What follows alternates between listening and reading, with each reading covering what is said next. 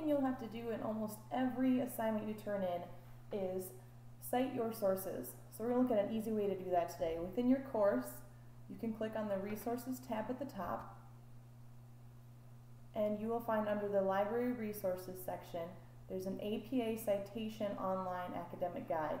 Let's click on that. It will bring us to a web page with tons of information. The best way to do this is to go to APA References page. Click on that tab.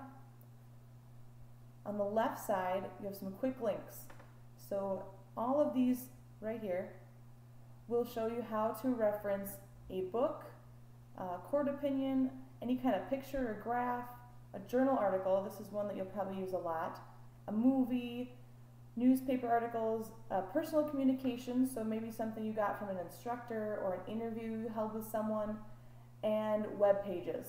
I'm going to click on web pages because that's one that we have a lot of trouble with. There's four separate ways to do this. The first one is a web page with an author. So it tells you exactly what to do here. Author last name, comma, first name, period, and then it gives you, I'm sorry, first initial. It gives you a good example underneath.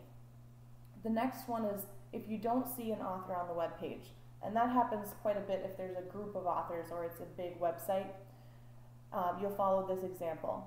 And if you can't find a, an author or a date, use the next one, and then the last part here, a web page with a group author. So make sure that you're including all of the information you can find, and always, always, always retrieved from the URL because you want your reader to be able to find the information that you uh, researched.